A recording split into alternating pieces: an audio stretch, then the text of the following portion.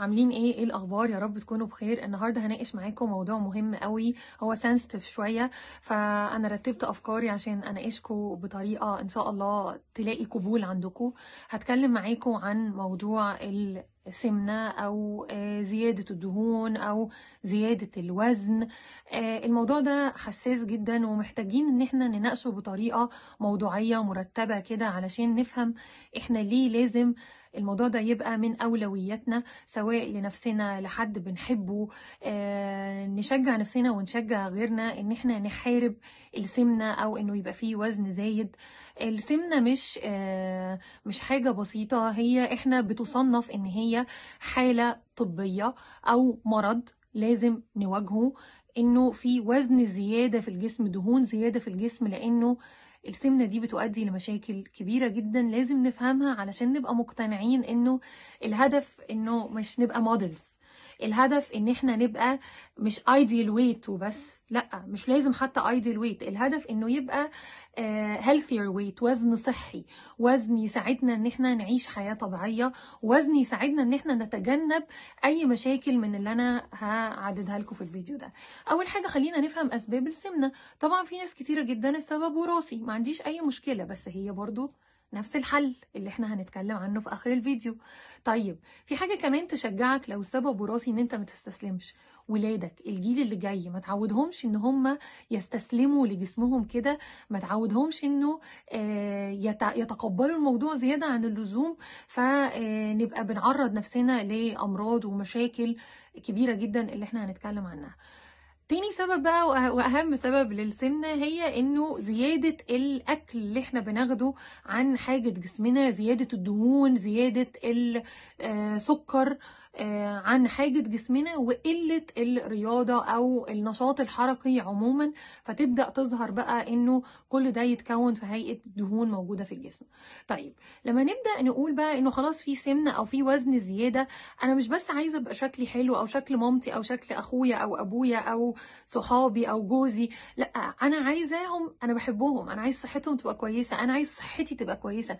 مش هعمل ده علشان خاطر حد أنا هعمله عشان خاطر نفسي علشان خاطر ده جسمي اللي أنا عايش جواه اللي هو آه، وجهتي اللي هو الحاجة اللي هتخلي نفسيتي حلوة. علشان كده لازم نكون فاهمين إنه السمنه ليها تبعيات. أهمها هي إنه أول حاجة على طول بتكون لستد إنه السمنه بتأثر على الحالة النفسية وبتجيب اكتئاب. طيب الاكتئاب ده مش مش علشان شكلنا الاكتئاب ده علميا نتيجة الدهون الزيادة اللي اتكونت ومنها دهون البطن اللي هي بتخلي فيه هرمونز وحشة جدا بتخرج في جسمنا فبتجيب لنا اكتئاب. وبيحصل اكتئاب تلاقي نفسك عايز تاكل زيادة تتخن زيادة تكتئب زيادة فهي دايرة مفرغة لازم ما تستسلمش ليها. دي أول حاجة. تاني حاجة بقى ضغط الدم بيبدأ يعلى. لما بيبدأ يعلى ضغط الدم بندخل على حاجتين مهمين جدا. القلب بيتأثر المخ بيتأثر. ضغط الدم لما بيعلى بتبدأ نعلى عندنا خطورة الإصابة بالستروك الجلطة الدماغية اللي هي مش بتدخل كده وتعدي بسلام. بتسيب آثار آه، عند معظم الناس. فلازم نتفادى خالص إن إحنا نعرض نفسنا للجلطات الدماغية وإنه ضغطنا يعلى لما ضغطنا يعلى كمان بيزيد الكوليسترول هيبدأ يزيد الكوليسترول الدار ال LDL هيبدأ جسمنا آه، ندخل في مخاطر تانية خالص اللي هي مخاطر الإصابة بالجلطة القلبية الغير مستقرة ال heart attacks فإحنا عايزين نتفادى تماما إنه آه، زيادة ضغط زيادة كوليسترول آه، كل ده هيزود عندنا الشرايين تبقى صلبة. تصلب الشرايين ده هيزود لنا مشاكل احتمالية حدوث مشاكل في القلب. فيبقى أنا بدخل نفسي في حاجات كبيرة جدا. طيب هيزيد الكوليسترول هتزيد الدهون في الدم هيزيد سكر الدم هلاقي نفسي داخل على حاجة مش لطيفة خالص. هتبدأ تبوظ حساسية الأنسولين هيبدأ يعلى سكر الدم أكتر هنبدأ ندخل في مرض السكر من النوع التاني. بعد كده في ناس آه، الموضوع بيبقى متركز عندهم في الكلى وفي الكبد.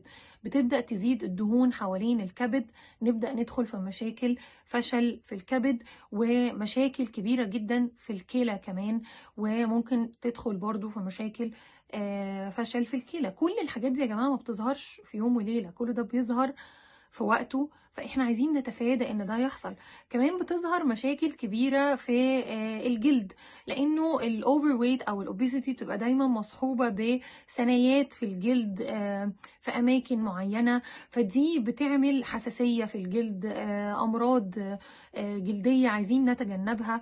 كمان مهم قوي إنه نكون فاهمين إنه النفس بيتاثر بتظهر حاجة اسمها sleep apnea أو إن هو الشخص وهو نايم المخارج الهواء بتاعته بتبدأ بيحصل فيها ضيق فبيحصل توقف للتنفس للحظات كده ودي حاجة خطرة جدا.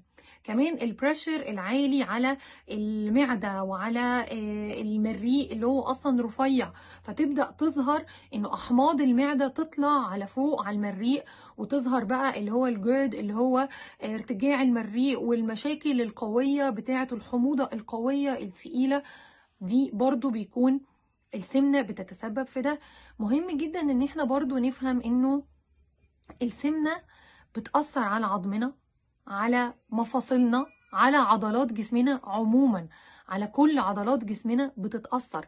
وكمان السمنة ويمكن مش ناس كتيرة قوي عارفة الموضوع ده ليها دور كبير جدا في موضوع العقم لأنه السمنة بتقلل احتمالية حدوث الحمل عند الراجل وعند الست. فلازم نكون فاهمين ده إنه السمنة عامل من العوامل المرتبطة مباشرة بالموضوع ده. كمان السمنة بتزود من مضاعفات الحمل وبعد الولادة كمان. المضاعفات دي آه عشان كده حتى بنقول إنه الطبيعي إنك تكوني في وزن مثالي علشان بعد الولادة وفترة الحمل لسه فيه weight زيادة بتاع ال baby والحاجات اللي حوالينه فكل ده بيبدأ يأثر على جسمك وبيأثر على دمك بيأثر على عضلاتك بيأثر على ضغطك فعايزين نتفادى إن المضاعفات دي اللي هي بتأثر في الحمل على ال baby وبتأثر على الأم كمان. فعايزين مع بعض كده نشجع بعض على محاربة السمنة.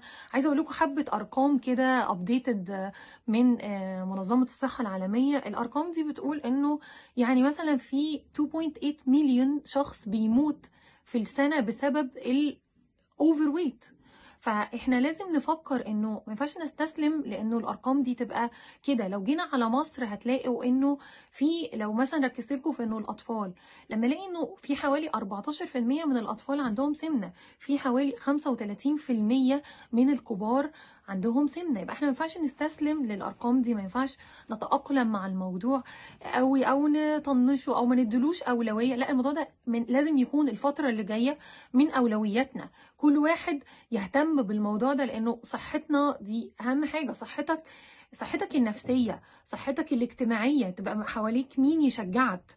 على إن أنت تبقى أحسن. صحتك النفسية أنت تبقى مودك أحسن.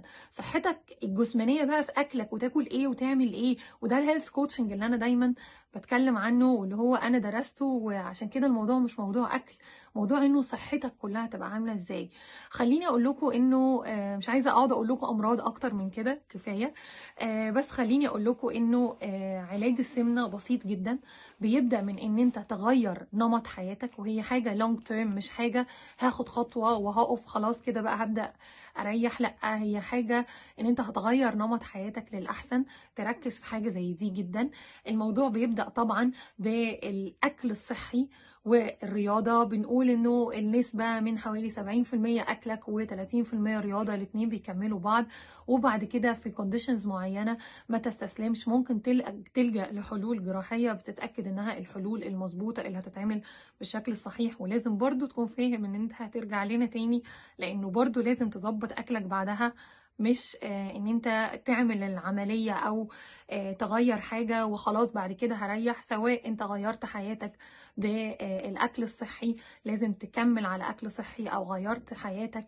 بجراحة أو تدخل آه، جراحي. برضو لازم تكمل حياتك بطريقة صحية وتتأكد من إنه أنت بتتبع النظام الغذائي الصح أو بتعمل الحاجة اللي صح لحالتك. طولت عليكم قوي في الفيديو ده بس الفيديو ده مهم جدا بالنسبة لي واي هوب إن الرسالة توصل بالشكل اللي أنا آه، بتمناه وإنها تكون خفيفة على قلبكم. متشكرة قوي إن أنتوا بتسمعوني ويا ريت تشجعوا كل اللي بتحبوهم. على محاربة ومواجهة السمنة وكلنا نشوف تغيير يشجعنا إن إحنا نكمل على طول. باي باي.